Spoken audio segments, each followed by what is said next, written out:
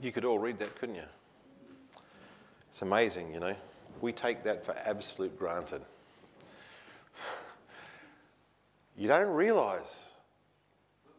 Yeah, that's probably a bit. Did you want to get? You want me to not do the sermon today, Brian?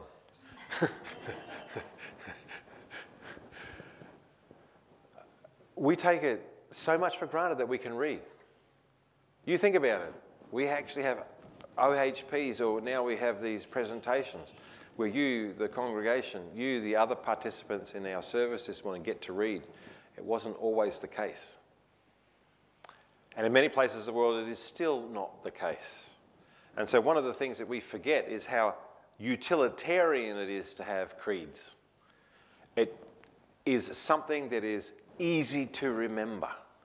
And particularly when you're in a community that doesn't have a lot of literate people, they, there's lots of scientific studies that have shown that people remember things better when they don't write things down all the time.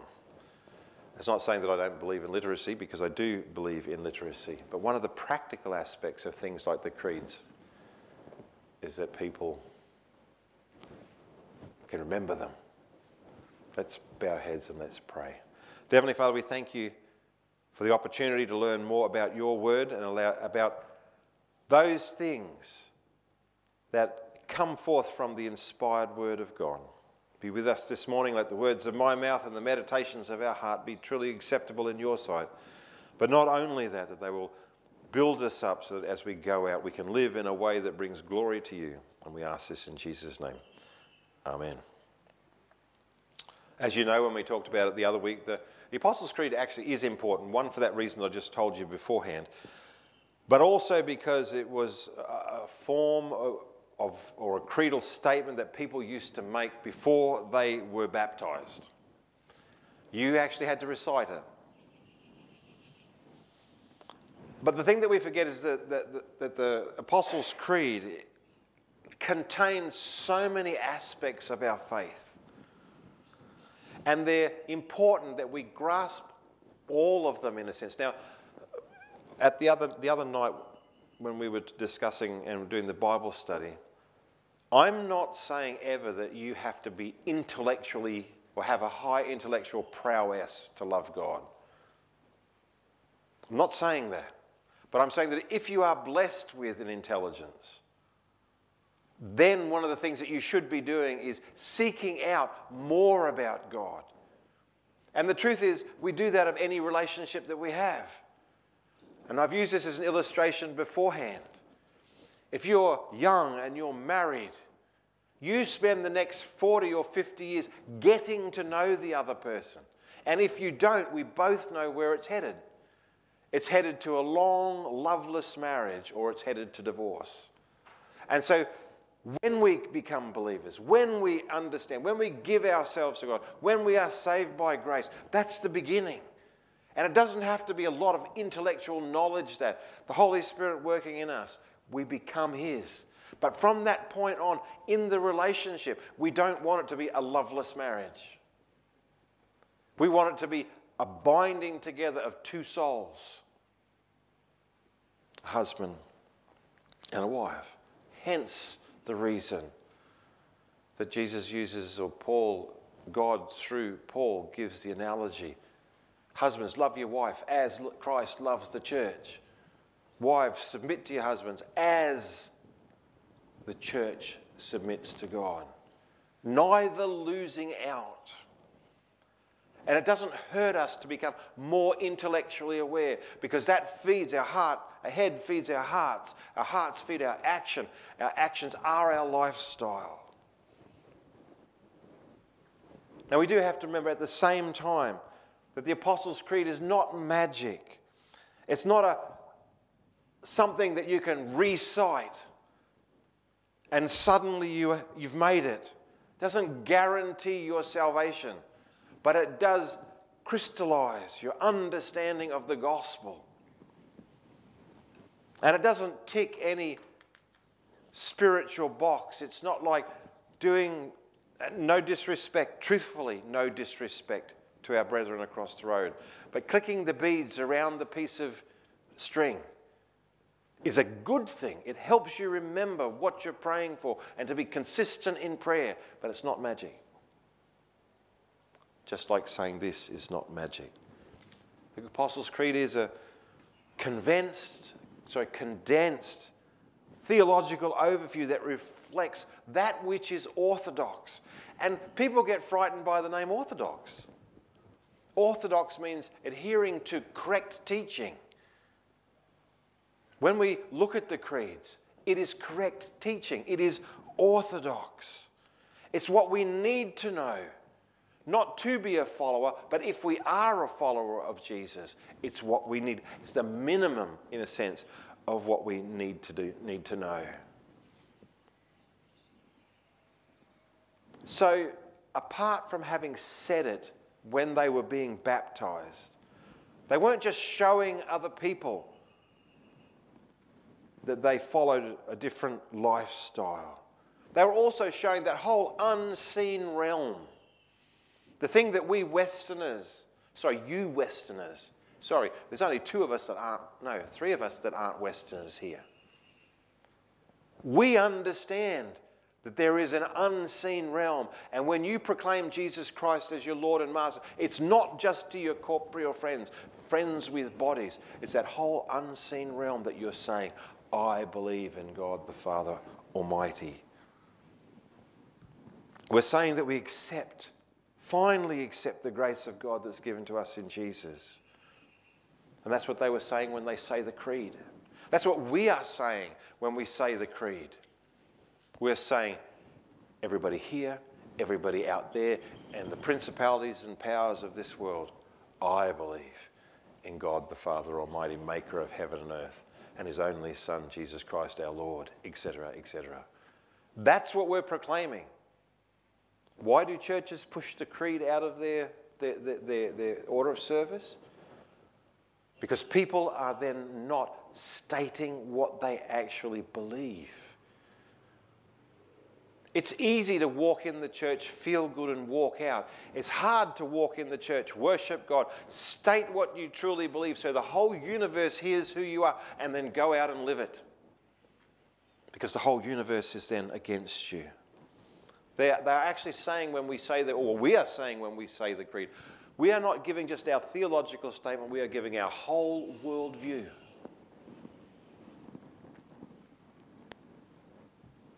But there is a warning that's absolutely necessary because we have to take the creed from here and here and here to out there. And the reason is this it's in 2 Timothy 3 1 to 7. Paul says, But understand this, that in the last days there will come difficulty, for people will be lovers of self, lovers of money, proud, arrogant, abusive, disobedient to their parents, ungrateful, unholy, heartless, unappeasable slanderous, without self control, brutal, not loving good, treacherous, reckless, swollen with conceit, lovers of pleasure rather than lovers of God. Now get this, he is talking to the church. Because the next line says this having the appearance of godliness. On the outside, they look like they can say the Apostles' Creed. But on the inside, that's what's really going on. You wonder why the church is decreasing? Because that is within the church. And we need, and I'm not being militant here, I'm saying we need to fight it. We need to live it every single day. Having the appearance of godliness but denying its power. Paul's saying, avoid such people. For among them are those who creep into households and capture weak women and men burdened with sins and led astray by various passions. I know he's talking to the church because we're always learning, but we're never able to arrive at the knowledge of the truth. We don't put it into action. The Apostles' Creed is the starting point of our understanding of who God is. It just tells us who God the Father is, who God the Son is, and who God the Holy Spirit is. It talks about Him being our counselor. It talks about the church, and it talks about our final destination, but it's the starting point. And it's not to be used as the finishing point. It's where we start. Because remember what Paul says in 2 Timothy 3:16, all scripture is breathed out by God and profitable for teaching, for correction, for reproof and for training in righteousness. The Apostles' Creed is the start. It's the essence that leads us into the scriptures. We are to be continually revisiting the scriptures, to mine them for the truth that's in them. But it's not just for intellectual understanding. That's where we pastors have made a mistake. Oh, so and so says this, and so and so says that. That's true, but that's not what it's for. It's to build us all up in our holy faith so that when we go out, we live it. That it's our full lifestyle all of the time. It's not just for a word of the day, it's not just for a little devotion that gives us a good feeling. We're to be thinking about our Christianity because that's the way we are to live all of the time. Yes, we have a hope for the afterlife. And we should never forget that hope in the afterlife. But it's how we live. Remember 2 Timothy 3:17. That's the one after the one that we just read. It says this, that the man or woman of God may be complete, equipped for every good work. We're not equ- equipped for the end so that we can drift through life and arrive at paradise's door. The reason that we're built up in our holy faith is so that we can do good work, not for salvation, but for the kingdom of God. And the kingdom of God is people. So the Apostles' Creed is used to give us a statement where we start something about God's nature, about the person and work of Christ, about who the Holy Spirit is, about the church, and a hope for eternity. But in this context, we actually need to understand what to believe actually means. It isn't something like, I believe in Santa, or, hmm, I reckon it's going to rain tomorrow. It's not that sort of belief. To believe in God is to have confidence in Him. It is to know that if He gives us His promise, that's what is going to happen.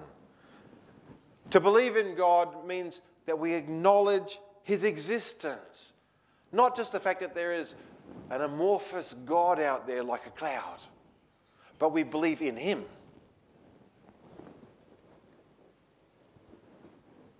We acknowledge His existence. We believe Him to be the single God that He is the God of the Old Testament and the God of the New Testament. Just think for a minute of all those people out there in the world that I believe in God, or they believe in other gods, or they believe in the, a God of their own making. They believe I am God. They believe in no God, which is a God as well. When we're saying the Apostles' Creed, we're going one step further. Because simply acknowledging that there is a God is not enough. As a matter of fact, just acknowledging that their God doesn't make them a Christian, doesn't make them godly. Just means they believe in something. Every scientist believes in something, in science. Every Hindu believes in something or lack of something. Every Buddhist is the same. What we are saying is, I believe, we're saying, I believe in the God of the Bible. I am placing my confidence in that. So it's not just, I know it exists. Because remember in James chapter 2, verse 19, it says, You believe that God is one. Yes, you do well. Even the de- demons believe and shudder. So you can believe in God, but you might not believe in God.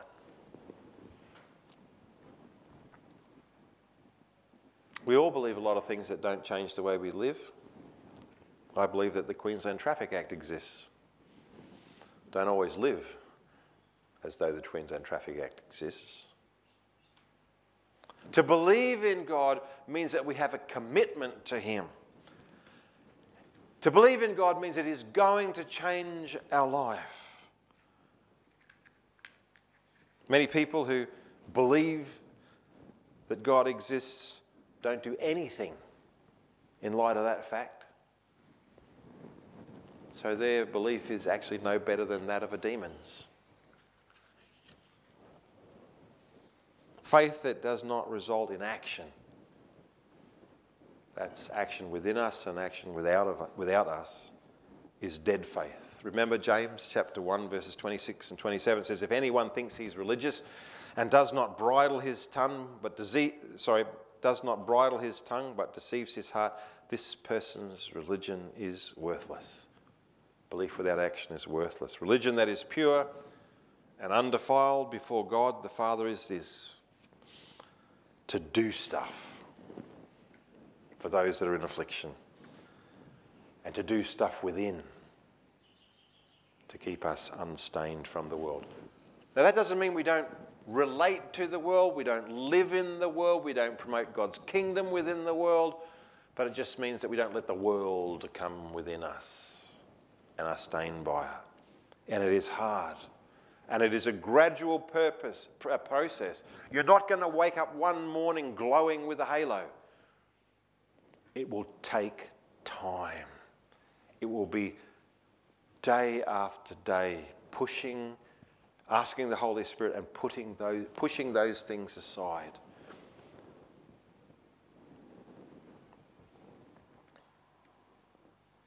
To truly believe in God as He has revealed Himself we have to believe in Jesus Christ. See, one of the things that we forget is that Jesus is God in the flesh. And it's only through him that God has shown himself to us in a way that we can understand. Moses saw God in the burning bush. He saw him in the cloud. He was hiding in the crack, but he couldn't understand him like that. We understand who God is because we have seen who Jesus is.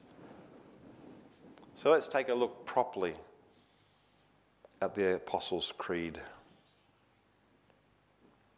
You've got to remember that for all time, all people are trying to answer those questions about creation. All people for all time have had an understanding of some sort of creation myth or creation story that helps us to understand the wonders of the world around us. Why do you think science is such a pervasive and prevalent and great look at the universe? Because we will always be wondering about it. It's in our spiritual DNA, as it says in Romans chapter 1. But what we have to remember is that our, our understanding of that particular story has a, a huge influence upon us. It gives us our frame of reference. It influences the way that people think about the world and their place in the world. All mankind have to explain who we are and where we are. See, what we forget is that the Apostles' Creed, in fact, in fact is the start of an understanding of the Christian worldview. I believe in God the Father Almighty. Just that particular statement. Remember Isaiah 45? Now, I'm not going to go through all of the verses, but I'm going to read some of them. Isaiah 45 5 I am the Lord. There is no other. Besides me, there is no God. We as Christians cannot allow any other God. We don't do it radically, we don't do it with guns and weapons. But what we say is there is one God who is Almighty. Everything else is inferior and not God. That doesn't mean that we fight with people, but it means that when we're talking to our brethren, our brothers and sisters who are human beings of other religions, we have to simply say, There is one God, and that is the God of the Bible. And Deuteronomy 6, 4 and 5 says, Hear, O Israel, the Lord our God, the Lord is one. You shall love the Lord your God with all of your heart, with all of your soul, and all of your strength. That's what we believe when we say, I believe in God the Father Almighty. And even in that, the Father. The Father of what? The Father of everything created, but also the Father of Jesus Christ. The next line is the Creator or the Maker of heaven and earth. We're talking about a whole world view of how we got started. And I'm not going into, I'm not going to say seven day creation or seven epoch creation or whatever. I am absolutely stating that God created the universe and everything within it. That is the thing that we have to believe. If I have, if you have brethren that say, no, it had to happen this way, or no, it had to happen that way, but they believe absolutely everything else, that God created, that there was an Adam and Eve, that they fell, I will be their brother in Christ. I may disagree, I have my own views on that. But there are the main things that we have to believe in, and this is one of them that God was the creator and the maker of the whole universe. Remember Genesis 1, verses 1 to 3. In the beginning, God created the heavens and the earth.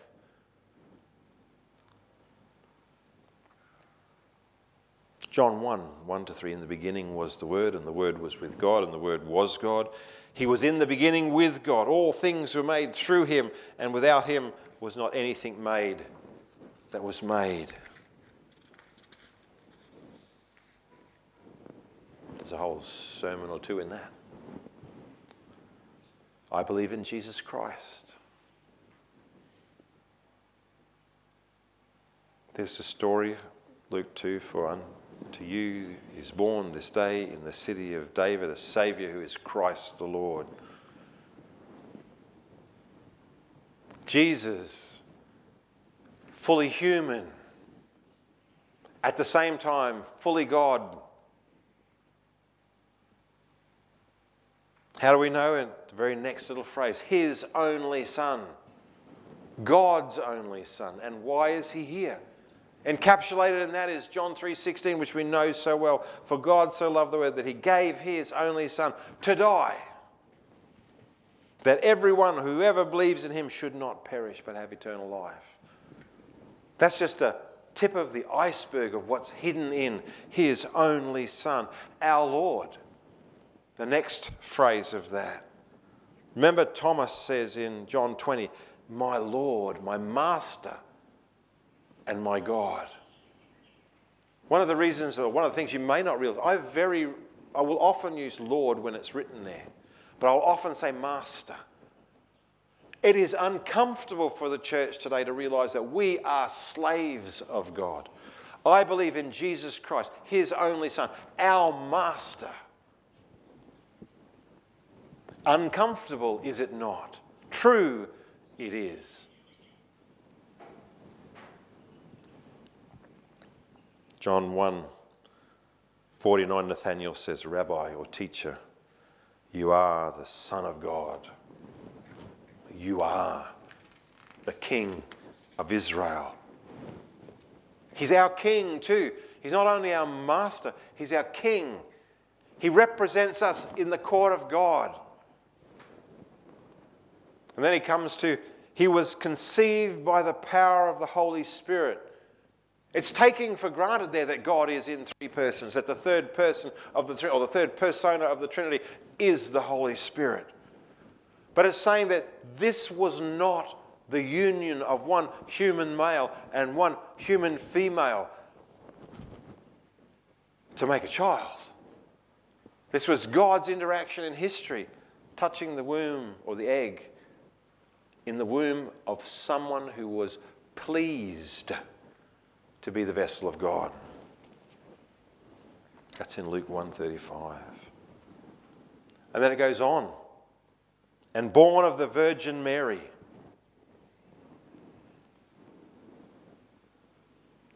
Doesn't sound like much, but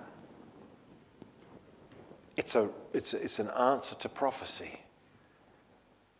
It's an answer to, to um, I forgot the word, I'm getting old um, heresy. They say that Jesus' father was actually a Roman soldier. God, in His wisdom, in the wording of something that is not with the authority or the inspiration of scriptures, inspired the writers of the Apostles' Creed to put in there that little line, and born of a Virgin Mary. Why? So that we can get rid of any heresy like that. And it also states it in, Christian, in Scripture, Luke 23. It goes on and it says, suffered under Pontius Pilate. That brings in the whole world. It's not just a Jewish thing. The fate of Jesus Christ was decided by the whole world. We rejected him. John 19 and Acts 4. He was crucified. A statement of fact that had happened and attested to by so many other documents. Died.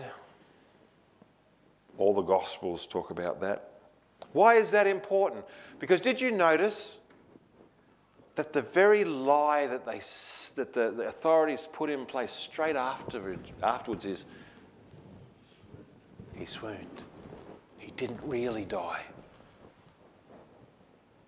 He died. God, in His wisdom, put that in there, there then, so that we now, with all the people, 2,000 years later, we can't even come up with an original understanding or idea of what didn't happen or what excuse we can make. He died on the cross. Anyone that has a spear shoved in their chest that pops your heart normally dies. Unless you're Wolverine, Abel. That's a cartoon character. He was buried. He descended to the dead. I'm going quickly. On the third day, he rose again.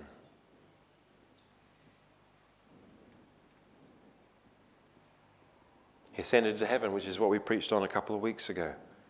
He has gone from being fixed in time and space to being in the courts of heaven where he can be with God the Father and have full authority all the time. And he is seated at the right hand of the Father. We believe, but we don't think about often, we don't talk about often, is he will come again to judge the living and the dead. And I know that we say, well, we have nothing to fear. But we should, in actual fact, have the fear of respect, the fear of understanding that we don't live. Now, we are totally accepted by God. But we should honor our Father in such that we, that we live in such a way that it does bring glory to Him. And I'll give you an illustration. Why do you think I left Townsville in my teens? I had enough respect for the family name to leave town. How can we be Christians and still drag the family name down? We should be at least a bit ashamed or a bit frightened, but thankful for who Jesus Christ is because he is coming to judge the living and the dead. We should be being out there witnessing and evangelizing because the faith is not something that we just have inwardly, it's something that we want to promote to the whole world because they are lost too.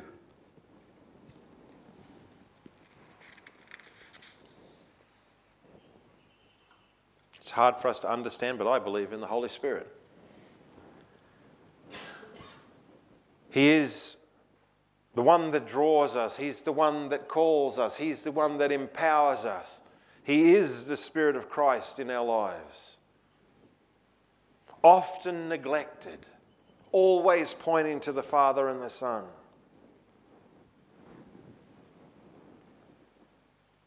And yet, so often we grieve Him, and at exactly the same time, we don't take into account His presence in our lives, not just as being sealed into the body of Christ, but that He is actively working within us. I believe in the Holy Catholic Church. That is not the Holy Roman Catholic Church, it means the universal church. It means that there are allowed to be different denominations and different sects, S E C T S, within Christianity.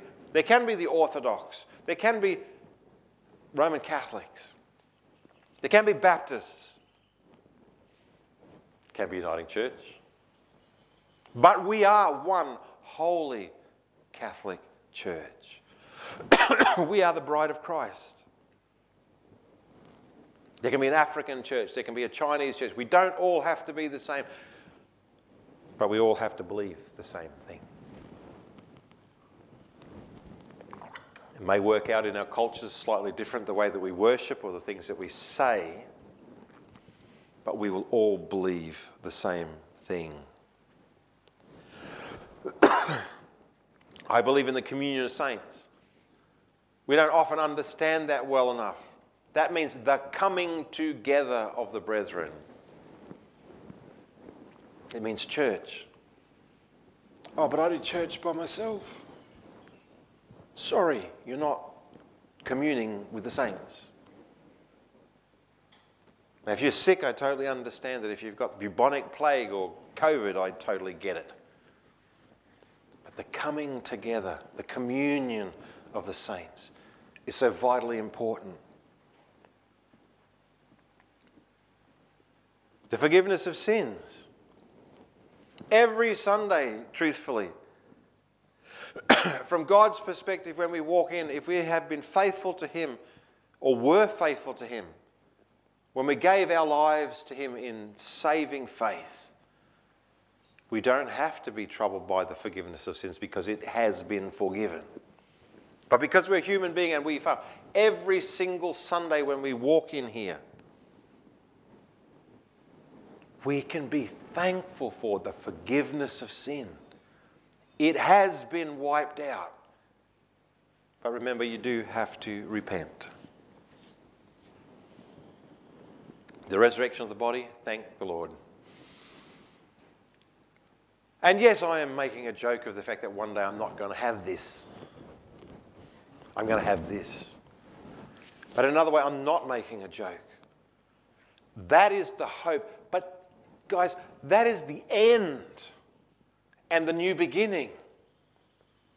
We have to live now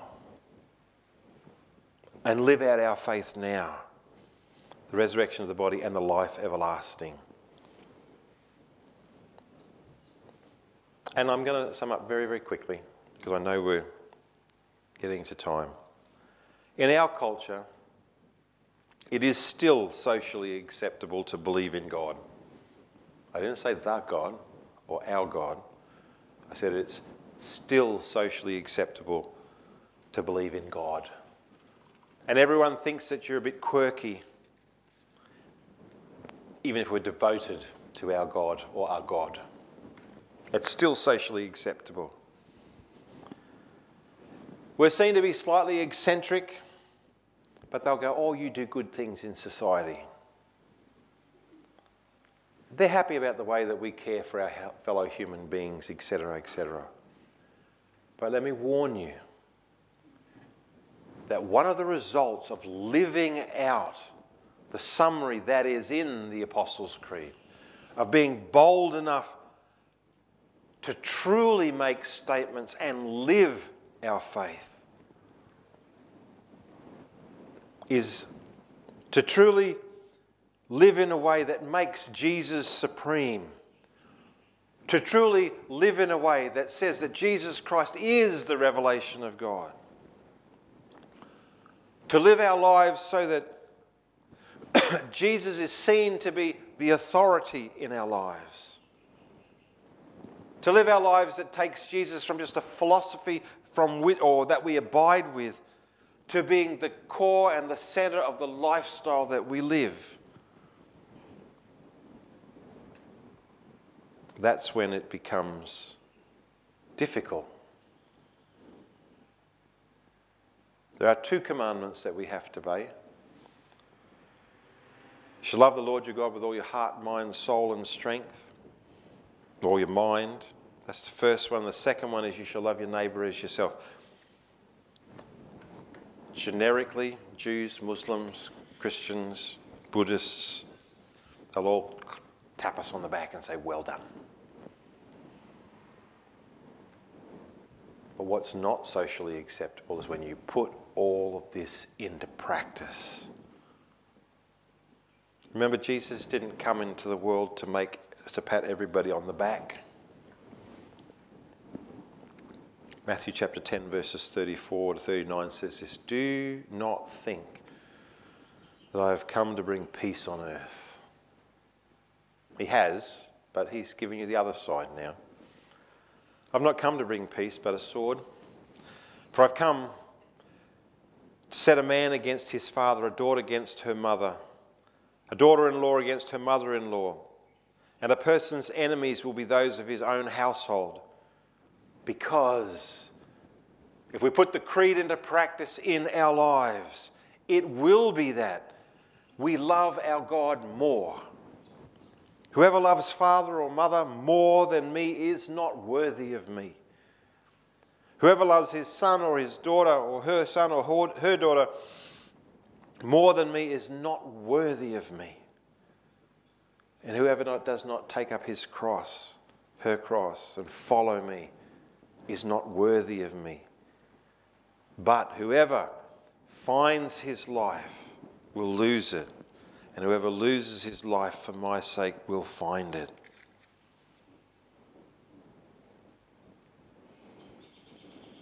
When we're witnessing, we have to tell the world that you can't just have a belief and a faith unless we have a belief and a faith in who God really is, and then society will hate you. The faith has to truly include who Jesus Christ is as the Son of God. Remember, Jesus in John 14 says this I am the way and the truth and the life. No one comes to the Father except through me. That's why I like the creed. It encapsulates all of that. It is through Jesus Christ. And here's the scary part. John 5:22 says this, "For the Father judges no one, but has given all judgment to the Son, that all may honour the Son, just as they honour the Father. Whoever does not honour the Son does not honour the Father who sent him. Truly, truly, I say to you, whoever hears my word and believes him who sent me has eternal life. He does not come into judgment, but has passed from death into life. And the Creed helps us understand that. If anyone does not honour Jesus Christ, he does not honour God the Father. One of the things that I love about the Apostles' Creed is that it speaks of the absolute exclusivity of our faith, the absolute exclusivity of Jesus. There's no other way. Let's bow our heads and let's pray. Heavenly Father, help us to be encouraged by the fact that you loved us so much that you sent your Son. We ask that you'll strengthen us by your Holy Spirit so that we will live in a way that reflects the fact that we believe in Jesus. And Father, I pray your blessing upon this church that we will live, that we will witness, that we will be a light, that we will be yeast, that we will leaven this community. And I pray that we will by our lives, by our lifestyles, by our words, by our actions, bring people into the stable, bring people into the fold, lost sheep that they are. I pray this in Jesus' name. Amen.